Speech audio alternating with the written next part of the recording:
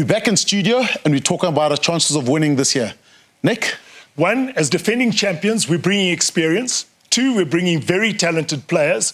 And three, we've got Kamalo, who's been on fire all season. Take a look at his turnover. Strong on his feet against a seasoned opposition. Slices through like a hot knife through butter. He's just a class act. Then Marais, with South Africa's best, clinical at the breakdown, offloads beautifully. Try time. Then later, to proceed. He's cool under pressure. Look how he controls the midfield. Bliksem, that looks lekker. What about Jacobs, who makes it look easy? These guys are really bringing the A game, even when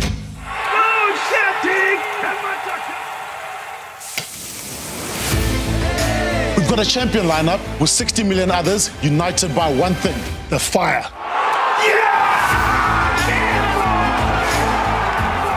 Light the fire, South Africa, and let checkers do the rest.